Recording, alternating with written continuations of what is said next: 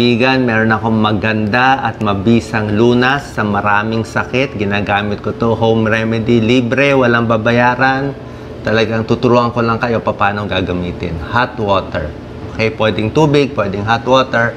Maraming sakit matutulungan, maganda para sa balat, dehydration, sa puso, sa kidney, UTI, kidney stones, ulcer. Papakita ko paano ginagamit ang hot water para sa paggaling sa mga sakit na to. Magandang home remedy. Number one, para sa ubo, sipon, sore throat. Alam nyo naman, pag may lagnat kayo, kailangan maraming tubig iniinom. Maraming tubig, bababa ang lagnat. Maraming tubig, yan ang pinapayo ng doktor, lalabnaw yung plema. At pag hot water o hot tea, may steam yan eh. Pwede mo nilalanghap, nakakatulong yan, pampalabnaw ng plema. So may pag-aaral na yan. May tulong ang hot tea, hot water, runny nose, coughing, sore throat, tiredness. Effective yan. Mas, mas effective yung mainit kaysa hindi mainit na tubig. Lalo na pag sa ganitong sakit. Ito, maganda para sa sakit ng tiyan. Lagi, to, lagi ko to ginagamit.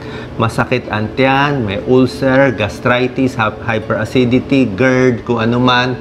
May tulong kasi ang tubig kasi ma-acid yan eh. Lalo na sa GERD Pagising mo sa umaga, may plema ka dito, parang masakit, parang lagi ka may sugat dito, malapot ang laway, kasi nga sa acid yun eh. So, inom ka ng tubig, mga dalawa, tatlong lagok every 10 to 15 minutes, mahuhugasan yung acid para hindi mababad sa acid itong esophagus natin. Ano, iinom ka ng tubig. Mas gusto ko sana medyo hot o hot water kasi hot water nakaka-relax ng stomach. Nakaka-relax ng tiyan eh pag mainit, yung muscle natin nare-relax. Eh. Kaya nga, pag masakit ng muscle mo, di ba, hot bag din eh. So, hot water, pakonti-konti, may tulong sa pagtunaw, digestion, nangangasim, at sakit ng tiyan. Try nyo. Baka dito gumaling na, lalo na yung mga colic, o minsan kahit food poisoning eh, di ba, masakit ang tiyan. Number three, kung kayo constipated, mahirap dumumi, ito rin, baka kulang ka lang sa tubig. Pag dehydration, matigas ang dumi. TTB. So, dadamihan mo pag-inom ng tubig, 8 to 12 glasses sa isang araw. Para sa constipation, sabayan mo ng papaya, pakwan, prutas, prunes, grapes, yun ang mga pampalambot ng dumi. Okay? Kasama nito. Na, ito po, dehydration. Pag kulang ka sa tubig, recommended ko isa hanggang dala, mga dalawang litro araw-araw, 8 8 to 10 glasses a day. Pag dehydrated ka, nauuhaw. Hindi makaisip, dry mouth, pati balat, nagda-dry, pagod, ang kulay ng ihi, yan o, konti ang ihi, ang dilaw-dilaw, headache, sakit ng ulo, dehydration din yan, constipation, nahihilo, ito, mabilis ang heartbeat, baka na heat stroke na. Heat stroke din yun eh. Mababa blood pressure, mainit katawan, bilis na baka na heat stroke, kailangan mo rin ng tubig. So, ang tubig din, may tulong din siya para pampagana sa utak. Kung hindi ka, kung ayaw gumana yung utak mo, hindi ka makaaral, parang bagal-bagal, baka dehydrated ka. Pag uminom ka ng tubig, may pag-aaral yan, mas gumagana yung utak natin at nababawasan ang sakit ng ulo, headache. May tulong po yan, subukan nyo uh, maganda. Inom lang ng tubig. Hot water, mas gusto ko eh. Mas maganda sa tiyan. Minsan kasi kung malamig masyado, minsan masakit sa tiyan. Number five, pampaganda ng balat ang tubig. 'Di ba? Gusto mo maraming tubig kasi pag dehydrated ang isang tao, lubog ang mata, lubog ang muka. 'Di ba? Naglulubog eh. Na skin turgor, nalulubog na. Kailangan kompleto ka sa tubig. 2 to 3 liters a day, 8 glasses to 10 glasses. Kung pagod, tubig din. Kailangan niya yan. So, ang tubig, hindi lang nakukuha sa pag-inom ng tubig. Pwede rin tsaa. Pwede rin gamitin ito. Pakita mo, Doc Lisa. Pwedeng prutas. pwedeng juice. Pwedeng ibang inumin. Buko, pakwan. Tubig din yan. So, kailan dapat uminom ng tubig? Pagising natin. Isang baso, dalawang baso ng tubig. Yan ang nire-recommend ko. Pagising Bago kumain, pwede ka minom ng tubig para pumayat. Pag nag-exercise, pag nag-exercise ka, 30 minutes ng pawis na pawis, kailangan sa basong tubig. Kasi ganun karaming tubig nawawala. Pag buntis, mas maraming tubig inumin. 10 to 12 glasses. Para sa'yo, para sa bata. May tulong din ng tubig pampapayat. Ito, ang gawayan ni Doc Lisa. Bago kumain, inom ng isang baso, dalawang basong tubig. Wala pang laman ng tiyan mo para parang niloloko mo yung tiyan mo, nilalagyan mo ng laman eh. So, akala ng tiyan mo medyo busog na siya. So, mas konting kanin na lang ang makakain mo kasi nilagyan mo na ng tubig ang tiyan mo eh. Parang hindi tumaba.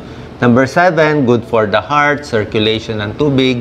Tulad ng mainit na pagligo, di ba, maganda yan sa circulation ng mga ugat natin.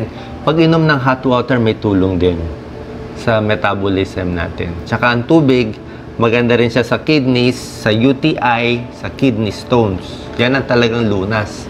Kung meron kang sakit sa kidney, sakit sa UTI, infection sa ihi, bato sa bato, kidney stone, tubig lang.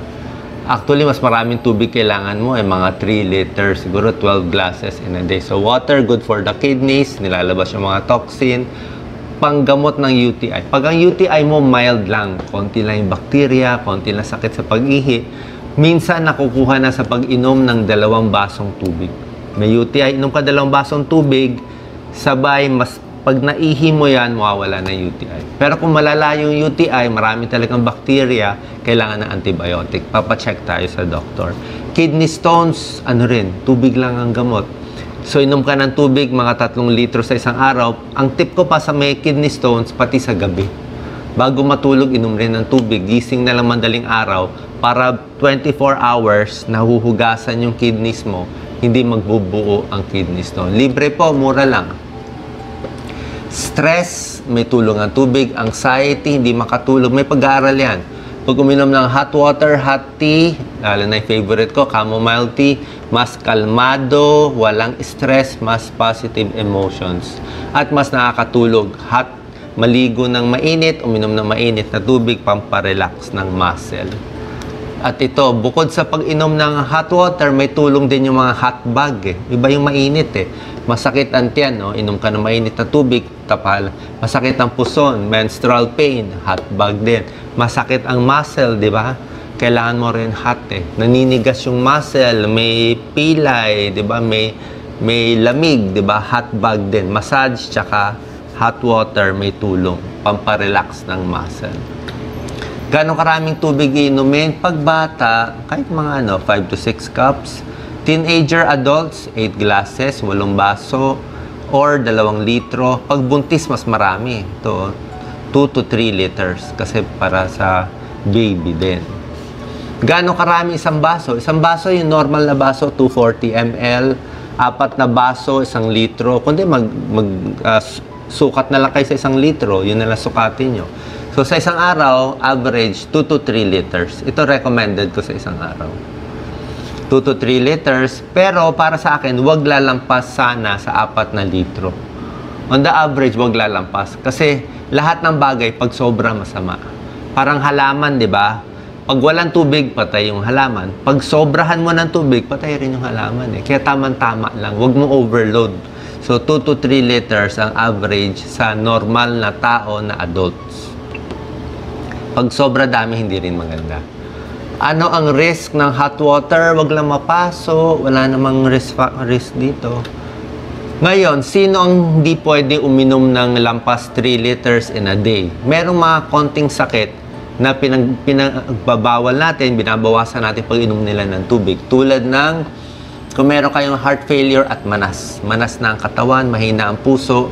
Ibig sabihin, hindi na kaya ng puso kasi mahina na ejection fraction, severe heart failure, hindi na makalakad, manas na manas. Yan, pinang, binabawas natin tubig. Minsan, isang litro lang sa araw. Pero kung sakit sa puso na malakas naman yung uh, pumping ng puso, okay lang dalawang litro. Nagdada pag may kidney problem kayo, tapos may ihi pa, gusto ng doktor maraming tubig mataas ang creatinine konti, pero may ihi pa, gusto mo 3 liters of water eh, para ma-maintain mababa yung creatinine. Pero oras na mag-shutdown na yung kidneys, kidney failure, dialysis na, wala nang ihi lumalabas, yun, pinagbabawal na ng doktor. So, bahala na yung doktor niya, binabawasan na kasi wala na nga ihi eh. Pero habang may ihi pa, konting damage pala yung kidneys, kailangan dadamihan mo pag inom ng tubig. Payat, may edad, siguro mga anim na baso, 1.5 liters. Kasi may edad na sila. Pero dahan-dahan pwede pa rin pag inom ng tubig. Huwag lang bibiglain kung may edad na. So yan po, ang dami nating benefits. Home remedy to, maraming sakit makukuha na dito. Ito nga ginagamit ko sa sarili ko. Ah, lose weight sa skin, lalo na sa ulcer, masakit ang tiyan, hot tea, favorite ko yan. Ah, stress, hindi makatulog, depression, lahat. May tulong po yan. UTI, kidneys. So maraming sakit makukuha nito. Pag hindi nakuha nitong home remedy natin, doon tayo. Doon kayo magpapacheck sa doktor. Baka malala yung sakit, baka iba yung sakit, baka may ibang gamot pa ibibigay ang iyong doktor. Sana nakatulong po to. Libre po to lahat para sa inyo.